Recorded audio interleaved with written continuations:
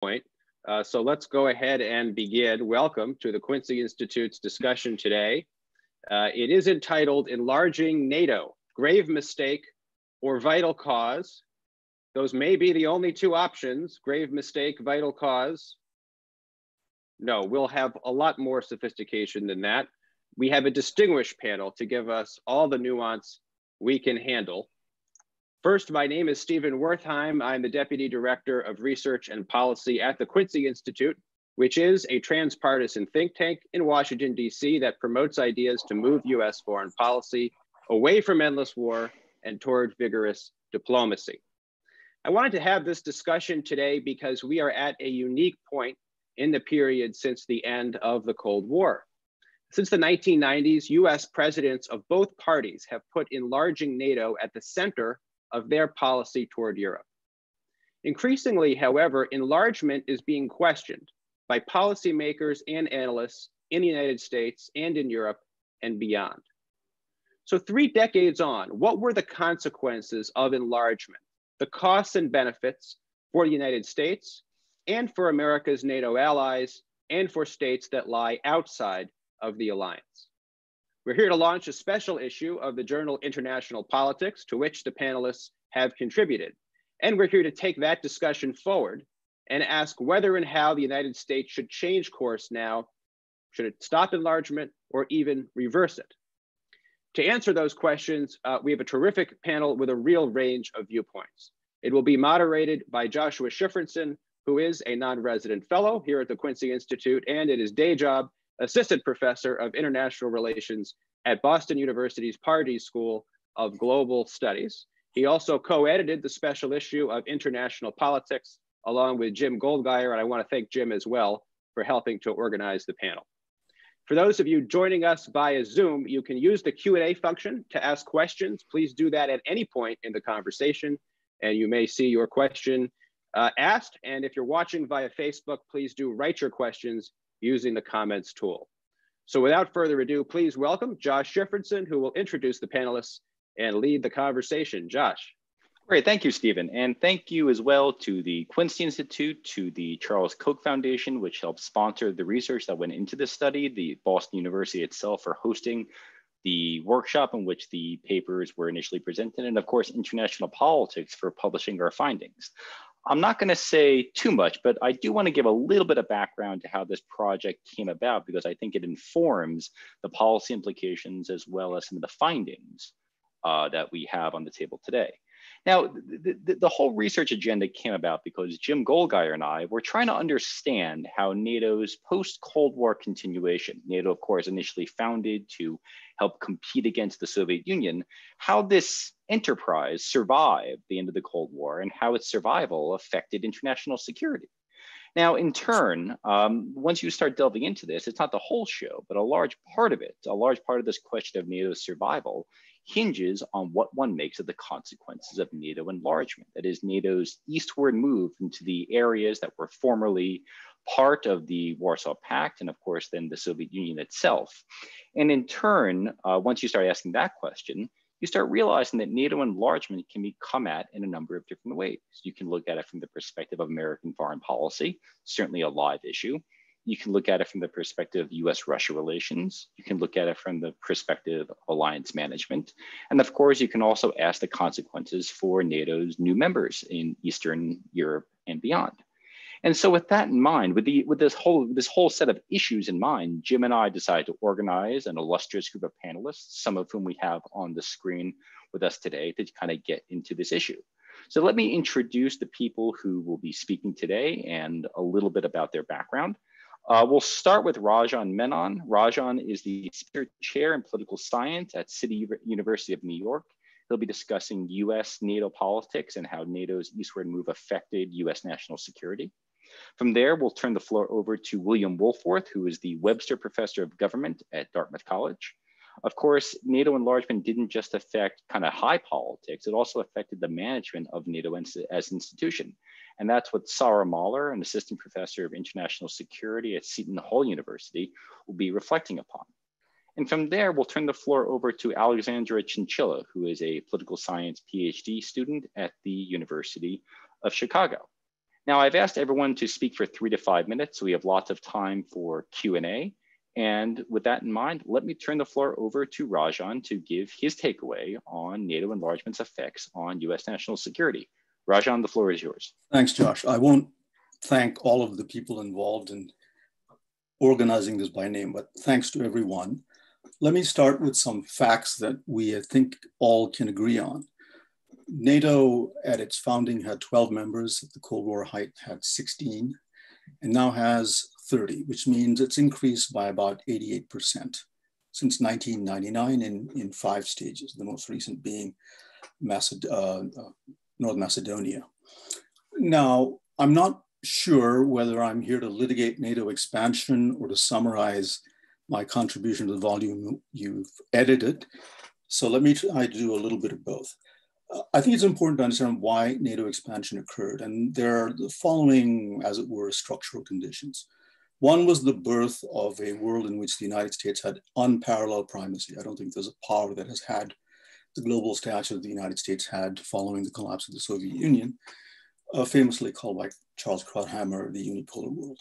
The second was the power vacuum in East Central Europe, political, economic, and ideological, that only the United States really could uh, fill. The third was the desire to build upon something familiar. NATO had been an extraordinarily successful alliance, and when people thought about how to keep Europe safe after the Cold War or how to stabilize it, uh, various individuals, Brzezinski, Kissinger, among others, wanted to build upon NATO. So it's not surprising that NATO expansion happened. Now, what was the purpose of it from the standpoint of American grand strategy, which is what the paper that Will Ruger and I, it's a co-authored paper, write about. One was denial, to deny arguably the second most important center of global power to a putative adversary or present adversary. The second was dependence. The more the Europeans depended on the United States for that most essential commodity, security, uh, the more the United States could have influence over Europe, which is no small thing. The second, as witnessed NATO's out of area mission post Cold War, was power projection. So the access to airfields and ports and intelligence services and the ability to pre-position equipment has helped US power projection in many, many ways. The question is, um, though, what the consequences have been. And I would say they've been mixed. You cannot attribute everything that's happened in Russia, the authoritarian turn and what have you, to NATO expansion, nor can you attribute the Ukraine crisis solely to NATO expansion. But I think when the history books are written 20 years hence, maybe 30 years hence, it will be impossible not to look at NATO expansion as something that contributed to what a term that I don't like, which is now being called the new Cold War between Russia and the United States. It is clear from the beginning, in fact, before the collapse of the Cold War, according to newly declassified reports, and on through Gorbachev and Yeltsin and Putin. So this is not a Putin problem. The Russians did not at any time see this as a friendly move. They were perplexed by it, bewildered by it, and in the end, threatened by it. Now we can sit here and say, well, they had no reason to feel that way, but the most elementary strategic mistake that is made by people is to assume that the way you see the world is the way others see the world. So I will stop with that. Great, thank you so much. Uh, now, Bill Rajan brought up this question of what has NATO enlargement done vis-a-vis Russia. Uh, he made the, I think, the accurate point that it's not just Putin who has attributed many ills to NATO enlargement in Russian polity. What do you find in your work? Well, uh, I'd like to give a shout out, first of all, uh, joining Raj and thanking everybody who is involved in organizing this. Great to be here. It's a, uh, it's a, it's a privilege it's an honor, but my subject, unfortunately, is uh, depressing because in my co-authored paper, which is with uh, Andrei Sushentsov of the Moscow Institute of International Relations, we actually have a uh, more, I say, gloomy takeaway than I think uh, even is the standard one, which is that the problem from Russia's perspective is not NATO expansion, it's NATO. Um, and I think the evidence on this is overwhelming. We've got a ton of research it goes way back. Some of it is archival. It, it embraces the Yeltsin administration. In fact, people who spend their lives studying Russian foreign policy can tell you that Russia's preferences with respect to European security architecture have been consistent since 1950. There's basically you can rank order three possible worlds, in order of best to worst from Russia's perspective. The best, which is what they would like, is for European security to be uh, decided between Europeans and Russians. The second, which they will accept if they have to, is where is one in which uh, European security is determined by Europeans, Russians, and Americans. Uh, the third, the worst, which they have opposed consistently and resolutely through every leader uh, who sat in the Kremlin in Moscow, is a situation in which Europeans and Americans determine European security and Russia is excluded. That third position is a result of decisions that took place in 1990 and the way German unity was handled. Therefore, uh, there is no nice outcome in which Russia could be satisfied. Russia would have been dissatisfied with a European architecture in which NATO continued but did not expand. That's the fundamental takeaway from the paper that I co-authored with Andre. There's a two more points I'd like to make besides that first and most fundamental one. And just to, to conclude with the implication, the takeaway of that first point that I've just made, it's that ceasing expansion is not going to fully solve the Russian problem, although it will improve it. Uh, the second point I'd like to make is that the reasons why Russia opposed uh, this European security architecture in which NATO is the prime uh, organization are not that Russia fears a conventional military assault, that it fears for its existential security, as we academics like to put it, because it knows it's got a robust nuclear architect, uh, uh, arsenal. Nobody's coming across the border like Napoleon or Hitler but they have serious, real reasons for not liking this. It's because their voice, their concerns, their uh, prerogatives are not included. They are not in the room where it happens when issues that matter to them are decided. The reason they want to be included in European security is not just domestic politics. It's not just that Putin fears that there's going to be a revolution in Moscow organized by the CIA uh, and he worries about democratic structures getting closer and closer to Russia's border. It's also very prosaic, concrete foreign policy concerns uh, that almost any great power would probably care about. Uh, and I think uh, you, uh, people listening to, to this, would care about if you happen to have responsibility for the security affairs of that country. And the final point, though, is that while I've suggested that it's the existence rather than the expansion of NATO that is the problem for Russia, expansion, of course, makes things worse. Uh, obviously, uh, if you don't like a thing, and if that thing gets bigger, you don't like it even more. And it keeps getting bigger and bigger. Uh, and obviously, the straw that broke the bear's back, as it were, was the potential incorporation of Ukraine into NATO. And so I'm not saying and suggesting it's NATO centrality uh, rather than um, rather than NATO uh, expansion that's the problem, uh, I am suggesting that expansion definitely exacerbated the problem. Thank you, Bill. On time and on budget. So we have a discussion on the table between uh, over how NATO enlargement benefited or didn't the United States, how it affected US-Russian politics. But of course, once you create an alliance, you have to manage the darn thing. And NATO is above all an alliance. So with that in mind, I'd like to give Sara Moller the opportunity to reflect a little bit about on how NATO enlargement has affected the alliance itself. Sara, the floor is yours. Thank you, Josh, and my thanks to the Quincy Institute for organizing today's discussion. I think the first thing we have to acknowledge is that NATO expansion, expansion enlargement didn't happen in isolation. Uh, there are a lot of other developments, both internal and external, to the alliance going on. And so, if you look at the early and uh, mid 1990s, this is a period of tremendous adaptation and transformation for the alliance. It's drawing down its force structure, it's transforming more than once its command structure and the high, uh, headquarters. And many of these changes that are happening to the nuts and bolts of the NATO military organization, as I argue in my contribution to the special issue, are happening without consideration of potential expansion down the road. And that's because NATO planning schedules are uh, very long to begin with, but the political side of the House and the military side of the House aren't really coordinating. And so the military side of the House is transforming in response to what they perceive as a reduced threat, given the collapse of the Soviet Union and the Warsaw Pact. But the political side the, of the alliance is pushing full steam ahead with transformation and enlargement. And um, one of the interesting things that perhaps we can get to in the in the Q and A or the policy implications later is I think this uh, different timelines and the fact that the political process is moving faster than the military gears are is uh, uh, is the opposite of what we see with NATO today, where I would argue the political mechanisms are jammed up and actually the military side of the house is working quite well.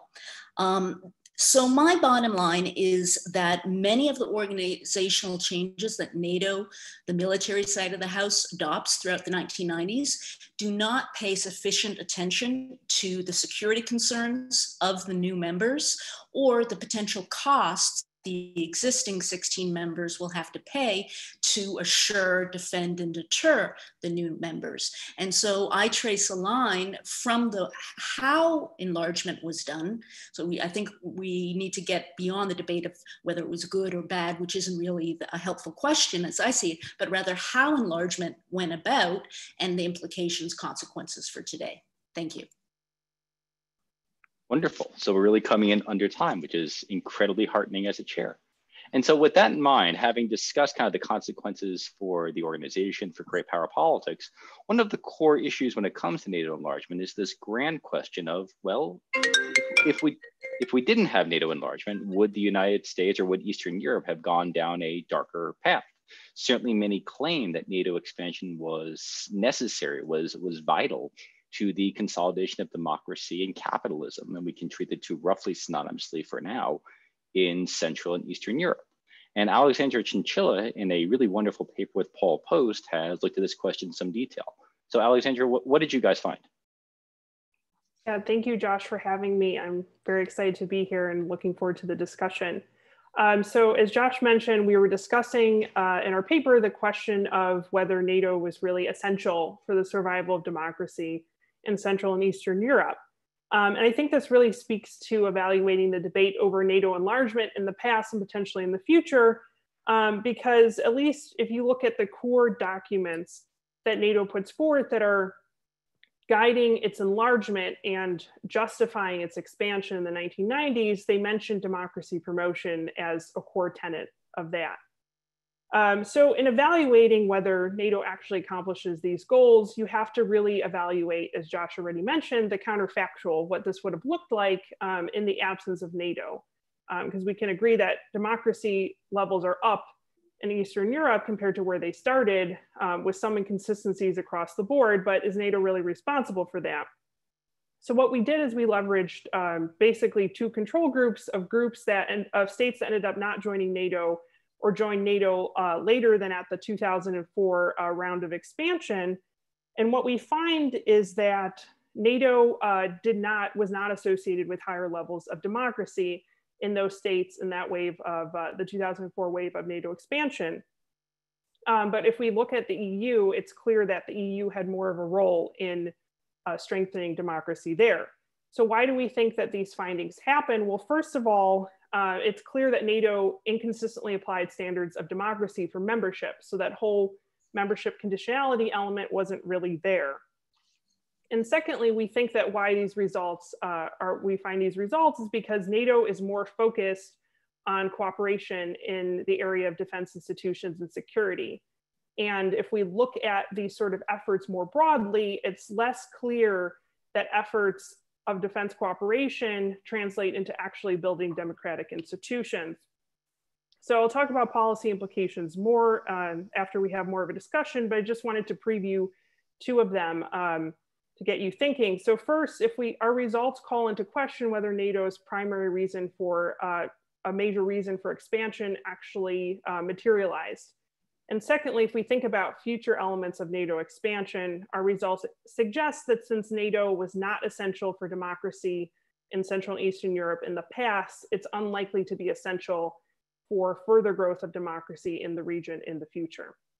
Thanks. Great, thank you all. So we have a bunch of questions rolling in in real time, and I had some questions emailed to me before the event.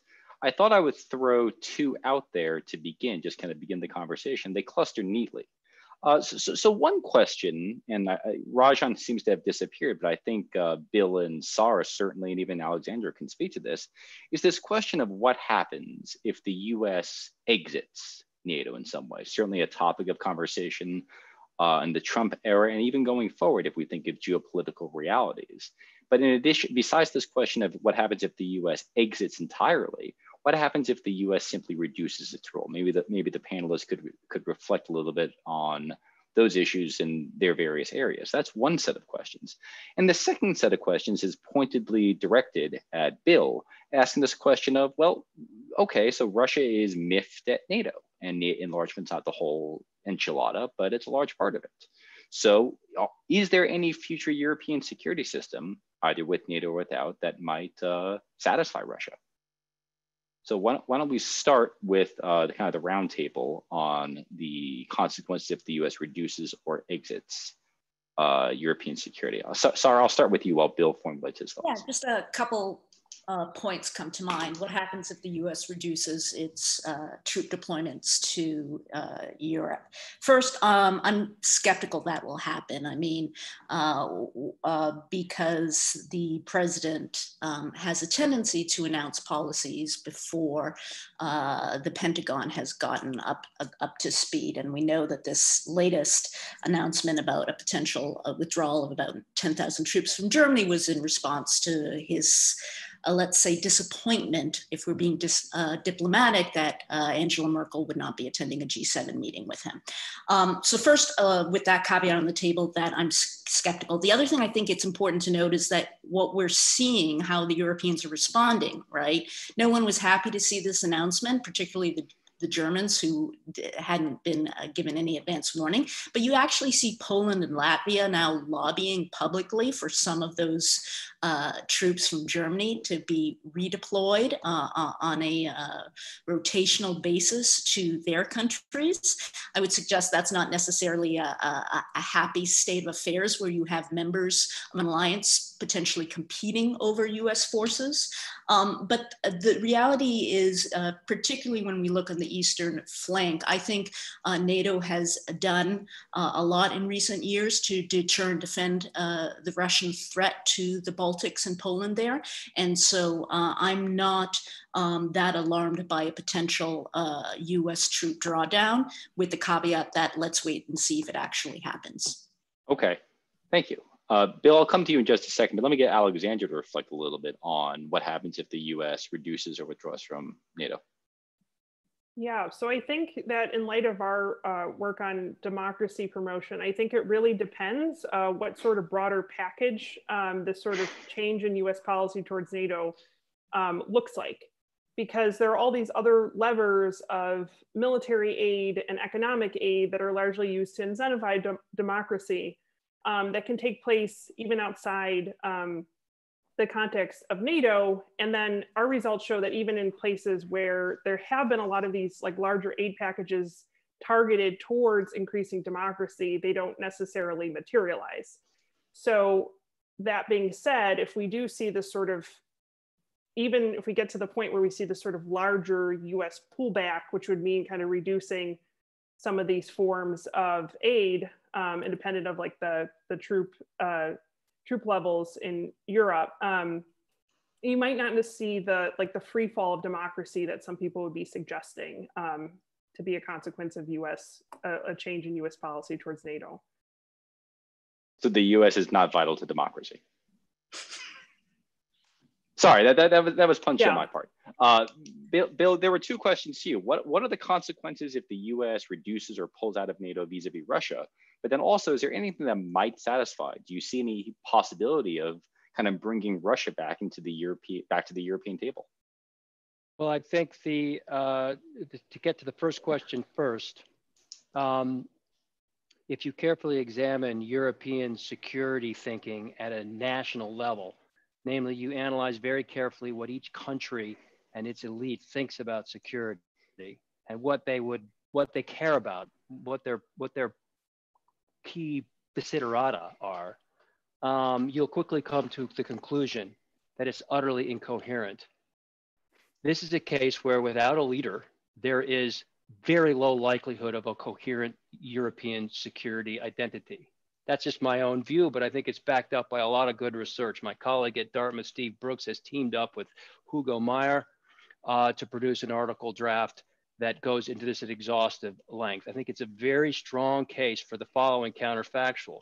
The US comes home, and what you have in Europe is um, sort of incoherence. Uh, and that is something that would be welcomed, I think, by the current political establishment in Russia in my view, when you study a country, you got to take seriously what they what they think. Uh, I think Russia actually knows what it wants, and I think what it wants kind of makes sense from Russia's perspective. What it wants is exactly that outcome: the U.S. out of Europe. So the question for the U.S. to ask is, was that good for us? I mean, it could be it's really good for Russia. Maybe it's also good for us. I don't think so, but it, some people might make the argument that somehow an incoherent a Europe that's incoherent in security terms, it doesn't cooperate very well without a leader that is at that is kind of not at odds in any kind of military rivalry sense, but just sort of at loggerheads on all kinds of picayune issues. That'll be a Europe that's weaker, that is more penetrable, more vulnerable, more manipulable from outside, one that would not be an asset to the United States in its global uh, strategy, and one that would uh, give Moscow much greater room to maneuver. Um, how bad is that for the US? That, that, that's for you to decide regarding whether there is a equilibrium in which Russia would be totally happy, the United States totally happy, and the Europeans totally happy, I don't think there is one. We're studying international politics. Um, usually everybody's not happy. I think there is no equilibrium like that, but there's one that's better than the one we're in.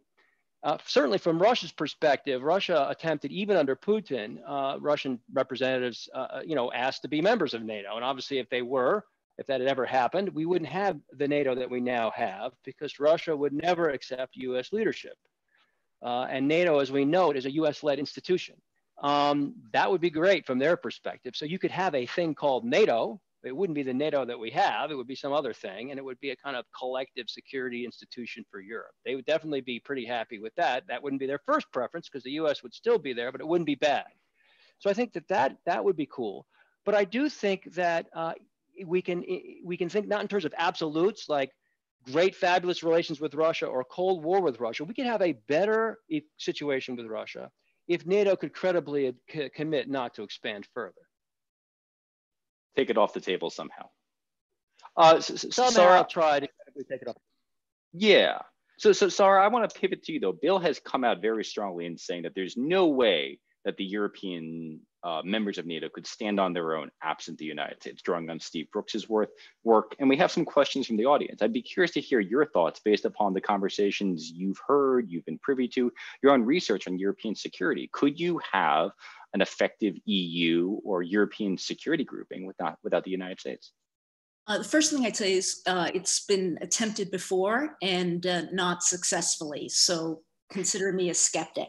However, I think we need to, in this discussion, uh, differentiate between a potential US troop drawdown and a total US withdrawal, right? There are, just like we've been talking about things along the spectrum, there are a, a range of scenarios that we can foresee. Um, the other point I wanted to make was with regards to uh, Bill's point about uh, cohesion, right? And even removing the US from, uh, from the discussion for a moment, to be clear, not from NATO, but from the discussion, right? There is uh, a lack of cohesion within the uh, continent, within the European members of NATO, uh, with respect to what to do about the Russian threat, right? This is the famous Eastern Southern um, uh, flank debate. And I think one of the things that hasn't gotten enough attention and that I've tried to do in my research, because it's come out of precisely the type of engagement, Josh, that you've mentioned I've done, is point out the um, strategic challenges that come from how NATO has tried to square this circle in the past, which is something that I call uh, internal tit for tat negotiation bargaining, right? For every concession to uh, Northern European European security concerns vis-a-vis Russia, the southern flank countries have asked for and usually gotten something of their own. This is how we get the creation of the Southern Hub, which is supposed to be a clearinghouse for the security concerns of the southern flank countries in NATO, but no one really knows what it's doing, right? So there's a lot of friction, I would argue, within the alliance and it's political friction at the moment. Uh, when I travel through uh, the, the Baltics and Poland uh, and talk to NATO officials, they say, with, uh, with the exception of possibly NATO follow-on forces, they're pretty confident uh, in, in, the, in the military state of things in that part of the world. What they worry about is a lag in decision-making in Brussels. It's this political lag that stems from uh, the underlying issue of different approaches and perceptions to what to do about Russia. Very cool. So, so we have a. I, I want to take the conversation in a slightly different direction and turn briefly to Alexandra. Uh, there are several questions on the Q and A thread regarding democratic backsliding in several NATO member states. Some newer ones like Hungary and Poland, and of course some longer-standing ones like Turkey. Now, I know your work with Paul shows that NATO enlargement wasn't necessary uh, for democratization in those newer member states, but do you see any way to use NATO or some other institution for that matter to try to pull back the backsliding or pull forward the backsliding? Yeah, that's a great question and one that I think is of a lot of concern to all of us as we, you know, we care about what's happening um, with some of these like very troubling cases of backsliding, like Poland in particular. Um, the thing that I'm I keep coming back to is that I don't really think that the research bears out that these this cooperation in areas of defense and security can necessarily translate into these sort of um, improvements or or even have a lot of le- or give the the larger states like in NATO or the US a lot of leverage in incentivizing greater democracy in the countries it works with. Um, and I think what you see is like cooperation in the areas of defense and security continue, even in, in some ways are strengthened and are, remain largely unchanged despite these instances of backsliding. Um, so I think what that tells us is if we're gonna look at uh, ways to increase the levels of democracy there, we have to go beyond the tools that we get from working in the defense and security toolbox and I think some of the existing research on this that does show positive improvements in democracy as a result of like external pressure um, point to um, aid that's designed to further democracy and that is very closely tied to improvements in democracy. And even there, it's very much a mixed bag. Um, so I think when we're talking about these countries that are backsliding, um, we need to sort of sort out which ones are security interests and which ones are which set of tools and policies that we have are designed to go towards more of furthering the democracy because they don't necessarily work together as nicely as we tend to wish uh, they would. I think, I think that makes a lot of sense. Do you have any thoughts on which, if any, countries are those security vital ones that you hinted at? I mean, do you have any instincts?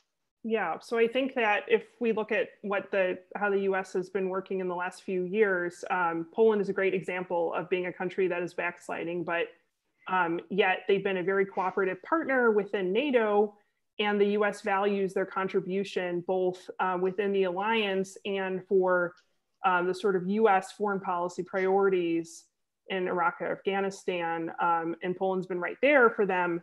So the U.S tends to place a lot of uh, put a premium on that cooperation in those sort of areas and has um, has not allowed that sort of democratic backsliding to get in the way of that sort of relationship. Um, yeah, and we can evaluate whether that's the way the U.S. should be approaching it, but that's largely how I've seen it. Um, the the current tack that's being taken. Okay, great. Sorry, sorry, you have a two finger. I do indeed. Yes, it's just something that Alexandra said now made me um, reminded me of my the point I tried to make earlier, which is that NATO enlargement didn't happen in isolation. Right there, I mentioned the transformations in the force structure and the command structure, but the other thing that uh, we should talk about is the other enlargement that NATO is doing in the 1990s, which is adding to its core security mandate, uh, of which was collective defense, cooperative security, projecting stability, right? Alexandra mentioned the, the missions and operations in Afghanistan, and Iraq, as elsewhere, right? And the role that the new members of NATO played in staffing up those missions and contributing to them. It's all interwoven. And it's, it's one of the reasons why, as an alliance scholar, as a scholar of, of military alliances in particular, I think studying the 1990s is so fascinating because there's so many moving pieces and they're all interrelated. Well, so, so that raises the, this question of roads not taken, and there was a question on the Q and A session about this. Uh, Bill, you mentioned in your remarks that 1990 was kind of the original sin for future U.S.-Russian tensions. Uh, but more generally, do people have any thoughts on whether there were other moments when the US or NATO could have gotten off this path of problems vis-a-vis Eastern Europe, problems vis-a-vis Russia? Or there, are, are, there any moments that stand out to you as these critical decision nodes uh, that really shape the current world that we're in? And then Rajan, I know you were off the thread for a while, and I have Sorry. a question to. No, it's all right. I have a question to throw to you from the audience as well. Why don't we start if there are any thoughts on roads not taken besides 1990s debates over German unification? Well, I can say very quickly on that, that as noted, there were several junctions when the Russian government uh, attempted, uh, uh, the Russian and American governments attempted to reach sort of a modus vivendi. Uh, these were never satisfactory, certainly not on the Russian side, but ultimately not on the US side. Um, are there roads not taken? I believe there was, I believe that uh, the research bears out, and I just want to stress there is a number of scholars, uh, just to reiterate, who have really dug into the both the U.S. Uh, and the Russian archives. One of them is sitting on this panel here. Uh, Josh has done extraordinary research on the U.S. Uh, decision making early in the game. Later in the game, we have a, a bunch of scholars, Sergei Radchenko, others, uh, Vladislav Zubok, just calling these people out so people know that a lot of people are working on this where they have investigated in depth attempts to reconcile these, these differences.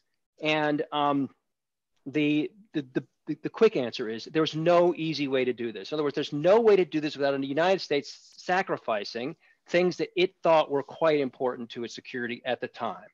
And bear in mind that in many of these instances, Russia is still extremely weak and simply can't compel the United States to, to, to make those tough trade-offs. So there was no easy route to a beautiful great power concert at the end of the Cold War where everything would have been fabulous. It would have been, it would have required real, uh, real sacrifices. In particular, I believe US leadership, this idea that NATO is a US led institution, is the price you would have had to have paid for a true kind of great power concert with Russia. That was the ticket, and it was not one any US administration was willing to pay, nor is there any evidence that it's willing to pay it today, except maybe the guy who's sitting in the White House, but the rest of the US government is not so inclined.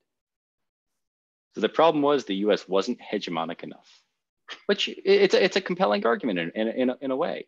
Now, with that in mind, Rajan, there's a question on the board that I wanted to save for you. Uh, what's the worst that would happen if the US leaves NATO? Do you see any downsides for European security? Do you see any downsides for the United States? Or is it more good than not? Right. Can I take a quick stab at your first question? Please go right ahead. Lost.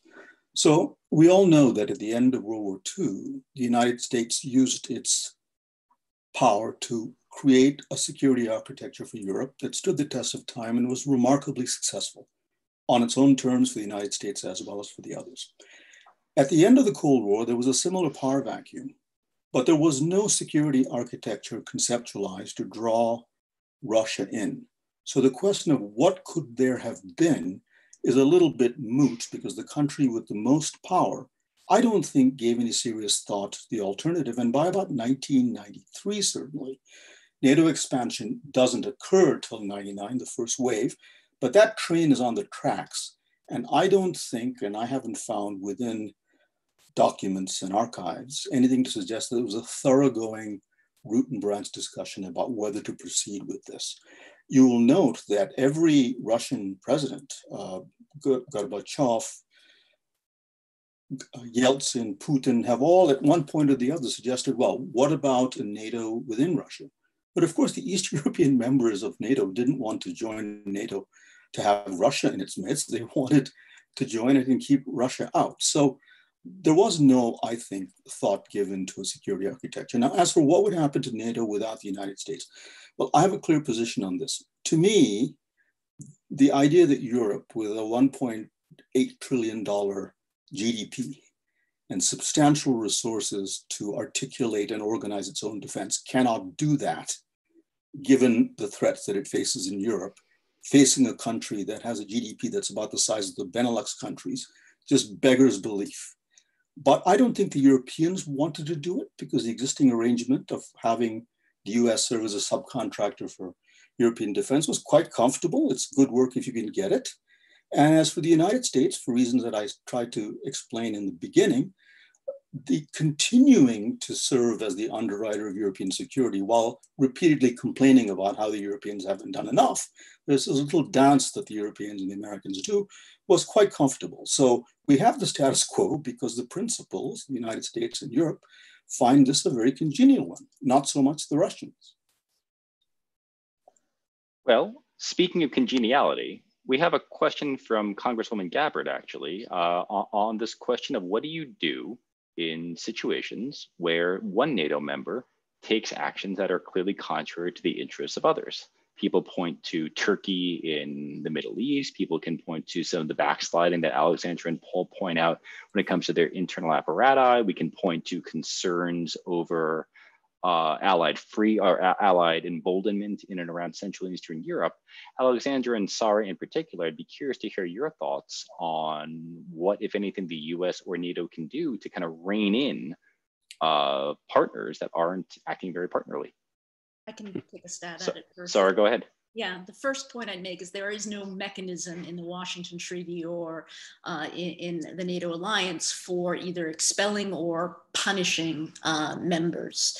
Uh, so let's take that off uh, the, the table. The other thing I would note whenever um, people ask me, well, what about Turkey or what about Poland and Hungary um, or other countries we can add to that list? I say, look, um, for me, it comes down to a question of what does NATO want to be? What kind of alliance does it want to be?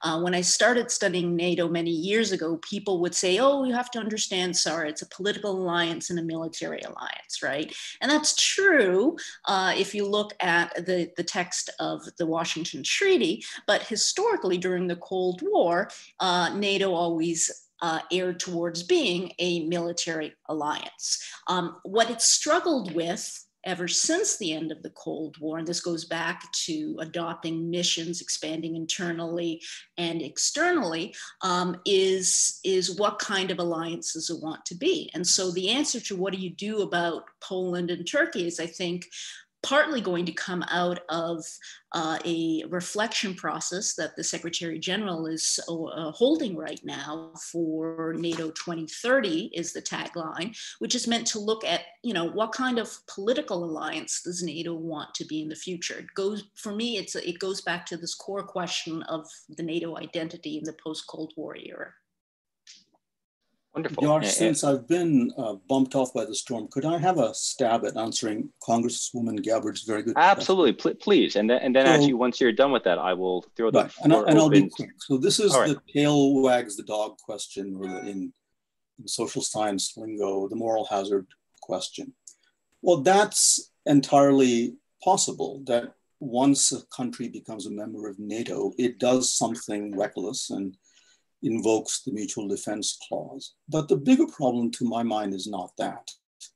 I think the serial expansion of NATO, and by the way, there's no indication that it stopped because even after Mr. Trump, who some people in the restraint camp see as a, as a, as a proponent of restraint, I do not. Secretary uh, Pompeo and Vice President Pence in visits to Ukraine and Georgia have said that the door remains open. So the idea that Georgia and Ukraine may join NATO someday is not some paranoid Russian fantasy. The question is, be it the Baltics or be it Georgia or be it Ukraine, how is the United States at a time when Russia has increased its military power? This is not Russia of the 1990s, a 30% collapse, a shambolic military.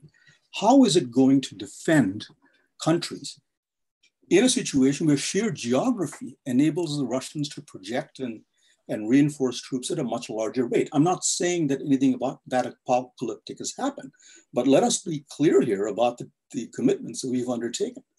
I think after the Russia Georgia War of 2008, Europe, by and large, heaved a sigh of relief because they asked the question had Georgia been in NATO, oh, what might have been the consequence? Now, some people say, well, had Georgia been in NATO, the Russians wouldn't have done that anyway. But the 2008 war is a little bit more complicated than simply a clear cut case of Russian aggression. It's more complicated than that. So I think in that respect, it's not so much the moral hazard problem, it is the strategic overreach problem. Wonderful.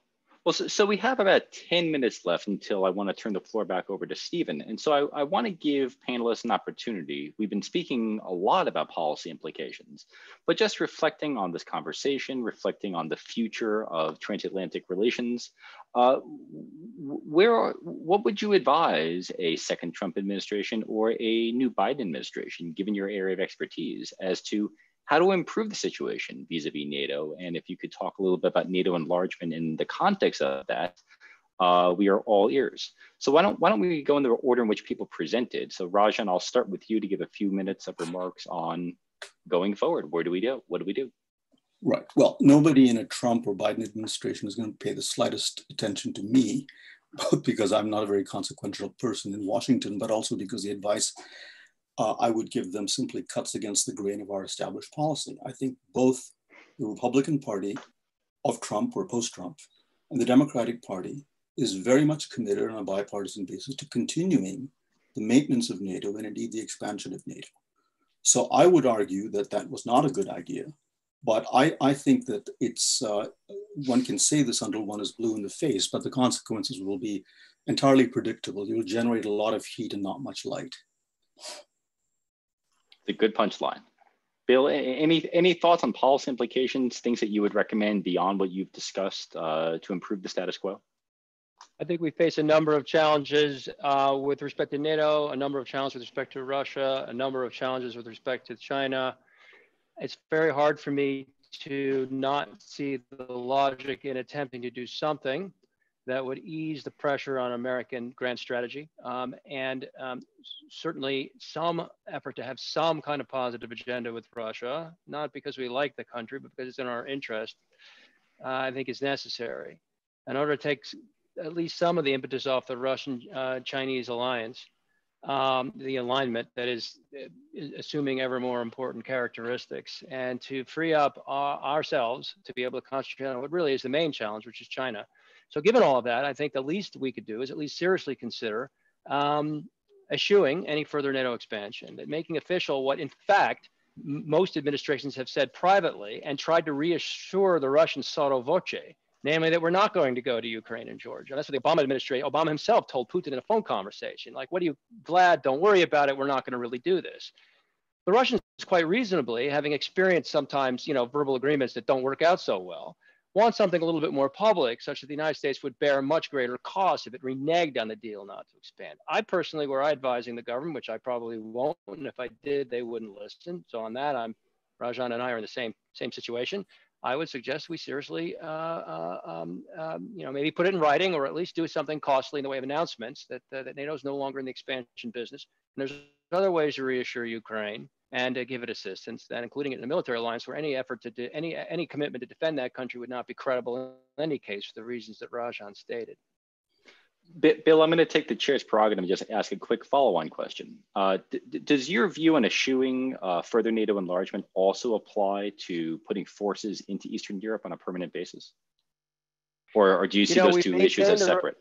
We've maintained this rotational idea trying to maintain consistency with the original agreements uh, on uh, NATO expansion, on German unification, and I think we should continue to do that. I think in answer to the question of what would happen should Russia present some sort of challenge to a NATO member, I do not think the current passion in Washington, D.C., in some circles, of actually physically defending let's say the Baltics, let's say Estonia, of actually creating a, a, situation where we would fight a war. I don't think that's credible. I think the only response NATO could have to a, an Article 5 situation involving one of these difficult, if not impossible to defend countries would be a, a, a cost imposition on Russia and other theaters rather than defending in place these countries. I think so. I think I like to continue the, the, the, the current thought that the status quo thought with respect to those new members. And uh, however, develop ways of thinking about defense that don't involve actually fighting in the place Russia chooses to fight, which may not be the best strategy. Josh, two, two sentences, if I could. Sure, I and then I'll listen the floor over to Sara. Yeah, I'll, be very, I'll be very quick. Two sentences. I think it's a good idea to take our eyes off the question of NATO expansion because I think that's a non-starter for somebody who wants to argue against it. But there are things that we can do that are in the mutual interest of the United States and Russia.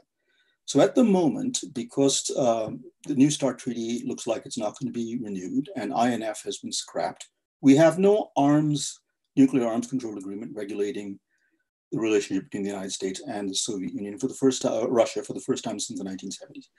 Secondly, there is the question of nuclear proliferation. I think without cooperation between Russia and the United States, be it Iran, be it North Korea, very hard to do.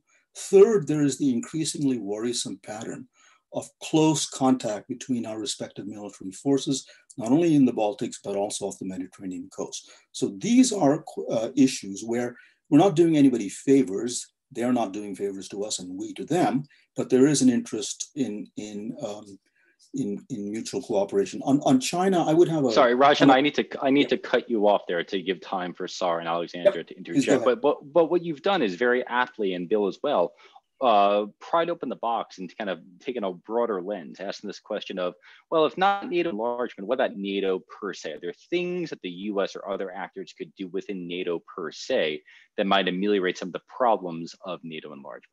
So Sara, the floor is yours for a few thoughts on this question, and then Alexandra will have you back clean up. Thanks, Josh. I'll be very quick and just make three points. First, I want to echo uh, Bill's point about Russia and China. So he made that point far more at, uh, um, um, uh, better. Elegantly. so, so I'll leave it at that. The second point is, and I may differ with with the previous um, comments here a little bit, is I actually see uh, future enlargement as being kind of off the table right now. There's simply no appetite for it anywhere in the alliance. We're not going to get, I think, Bill, what you said, which is a public statement. I don't think we'll ever see that. But behind the scenes, my read of the situation is that the, the foot is off the pedal there, uh, if not yet on the brake. Um, my last point is in, in, with respect to your initial question, Joshua, what should what should the new administration or the next administration do? I would say pay more attention to the political side of the alliance. That's what needs work. Wonderful. And then Alexandra, of course, we, we had some questions thrown to you about whether you can use NATO to actually spur or undo some of this backsliding and the directionality of that's very hard. But any thoughts in general about where, uh, what, what you might recommend for a new administration or a second Trump administration? Yeah, so to be clear, um, I think NATO is still useful for some elements that are very important for democracy. That I think it played an important role in socializing militaries about what it means to be part of, to be functioning in a democratic society, um, and particularly in the in the norm of civilian control of the military. That being said, um, I think it's important to focus on the to make clear that the democracy promotion efforts that the US might want to extend to other states aren't necessarily dependent on operating in the framework of NATO and the sort of defense and security cooperation that takes place there. The US still has a lot of uh, bilateral tools that it can use of aid focused specifically on democracy that is different than the security cooperation. Um, and that might be the more fruitful path forward. Um, so to kind of extend that um, to sort of what I, I, focus on my research more broadly beyond NATO, um, a lot of the ways that the US has tried to focus on cooperation with different partners has been in the context of conflict or in the context of security, like what it's done in the Central Eastern European states and NATO. Uh, but the picture can be very mixed in terms of whether these security focused um, efforts actually lead to improvements in democracy. So what I would recommend is to be much more explicit about what we're hoping to achieve with certain tools of uh, cooperation and to understand that these security focused ones don't necessarily create the sort of pile on effects that we're hoping um, in some of the other areas and that their effects might be much more modest and limited to things that are still important for democratic societies like teaching the military how to operate but themselves don't build democratic institutions on their own. Wonderful. And what's what's interesting listening to these remarks is quite how much of the discussion is now turned towards things that the United States or other actors can do outside of NATO. So for discussion about the consequences of NATO enlargement, there actually seems to be a lot of conversation over bilateral diplomacy and conditional uh, activities on the part of individual actors, uh, suggesting that maybe one of the paths forward for NATO is actually to stop treating NATO, stop putting so much emphasis on NATO itself and recognize that states create alliances and therefore states sometimes need to manage alliances. But with that, Stephen, I think you had some words and I'll turn the floor over to you. All right, thank you. This has been uh, truly an enriching conversation, and uh, I found it to be quite a refreshing one, given its uh, range of perspectives. I want to thank all of our panelists uh, and our host, uh, Josh, for being with us today, and Raj for bearing the storm and getting back on with us. Uh, we got a great number of audience questions. Many of them I took to be skeptical, not just of the enlargement of NATO, but of America's very commitment to NATO. I thought that was interesting. So thank you uh, to everyone who joined. For those questions, I have preserved them uh, to send to our uh, panelists since we couldn't uh, obviously get to all of them uh, this afternoon. For more from our panelists, I want to invite everyone to check out the special issue of International Politics that has just come out uh, over the summer. And if you haven't already, please do sign up for the Quincy Institute's mailing list. You can do that at quincyinst.org. That is quincyinst.org. That way you will receive notifications for all of our panel discussions and so much more, but not so much that you'll want to unsubscribe, at least we hope. So thank you very much again for joining us today, and we do hope to see you next time. Great. Thank you, everyone. Thank you. Thanks. Thank you.